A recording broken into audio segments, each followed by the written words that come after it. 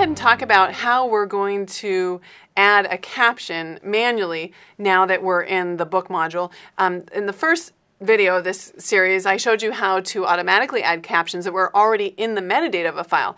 But if you haven't gone and captioned all your files, which I don't expect most people have, you can also just add a caption at any point in time. So you can see here that I can add a caption to either the photograph itself or I can add a caption down here, a page caption.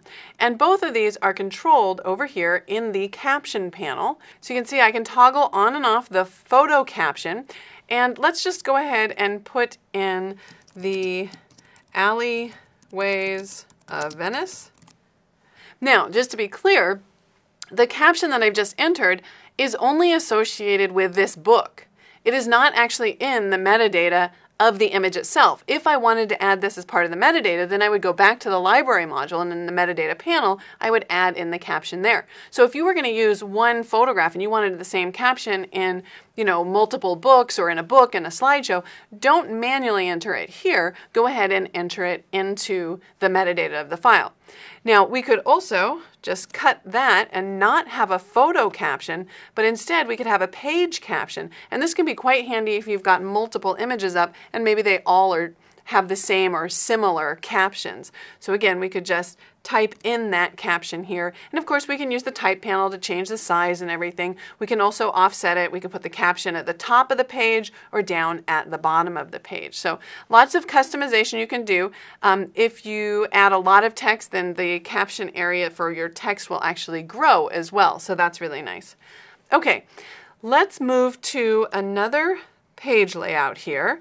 I want to just scroll down and let's take a look at this spread right here.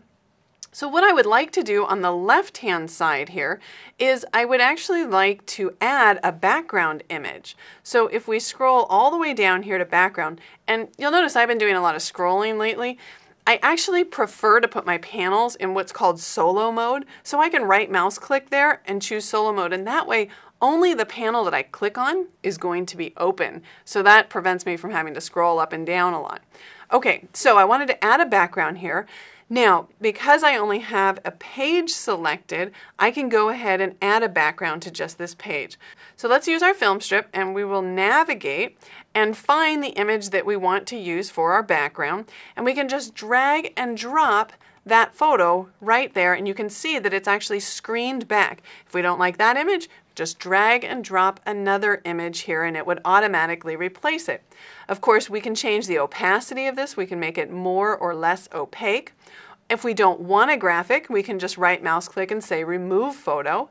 We can also use this drop down menu in order to actually choose from a few templates. Like we have some maps here. So if you were doing a travel book and we have some, some small glyphs and stuff if you were doing a wedding album. And you could just click to add any of those. I'm going to go ahead and keep my photograph instead. So let's just drag and drop that photo on. Oh, if I didn't have a photo, sorry if I remove that, I just want to show you that you can also change your background color. So if you actually wanted to put black there, we could do that as well. All right, excellent. One other thing to point out right down here, you'll notice on top of each of the thumbnails in the film strip, there's a little one icon that tells me that I have used that image once in my book. All right, let's go ahead and zoom out, Command or Control E. I want to talk a little bit about favorites because as you create your book, as you scroll through it, you'll probably see that you're using kind of the same set of templates over and over. Now, here I kind of tried to use every template possible, but I imagine that you will kind of find ones that you like more than others. So, what you can do is go to the page panel. Now, you'll notice I don't have any pages selected because if I do, and I click to like add a page, it will add a page right after that page. Um, if I have no pages selected, it would actually add a page at the end. And in fact, I'm not going to actually add a page to my book right now. All I'm going to do is I'm going to add a template to my favorites. So the way that I would do that is I would use this little disclosure triangle here, and I would come and find the template that I like. So let's say, for example, I go to four photos and there's a four up page template that I like. It's this one right here. I'm not going to click on it because if I click on it, then Lightroom's going to add that page.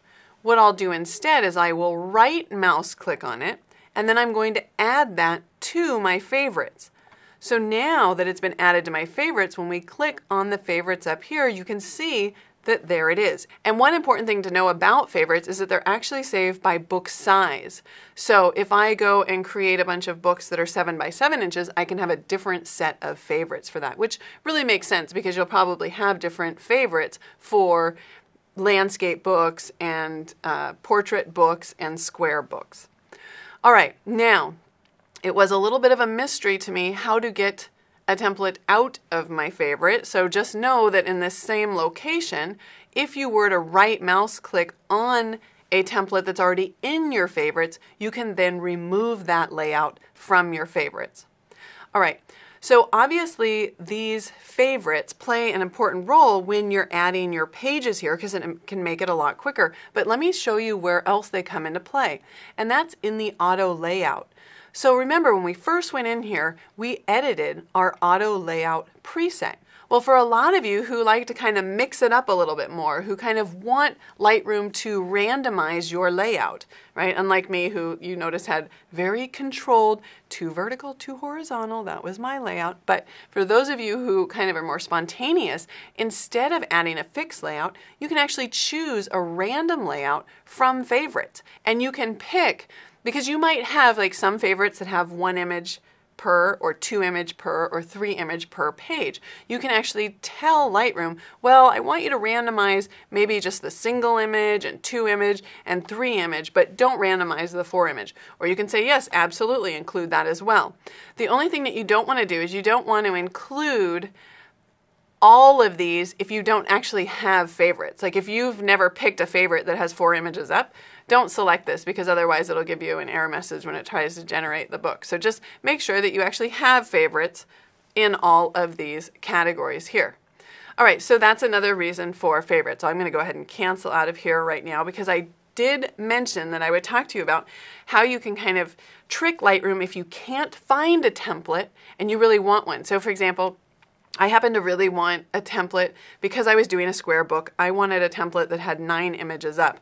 And so when I was looking here under page, I was looking at, you know, that would be three by three. So I looked under three photos first. Well, that was silly because that's three per page. So then I came here to multiple photos, but I didn't find one that actually had nine photos up in it. So what I did instead was I went to the print module and I just created a template. You can see right here. In fact, let's go ahead and just select nine images here.